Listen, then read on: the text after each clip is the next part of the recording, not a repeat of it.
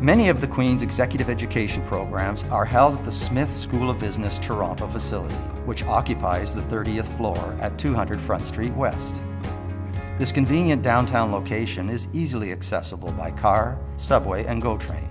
There is a broad selection of hotels and restaurants within walking distance, as well as transportation links to both Toronto airports. Featuring stunning views of the Toronto waterfront, the facility includes large tiered classrooms, one smaller seminar room, and several breakout rooms, all equipped with the latest in multimedia presentation systems.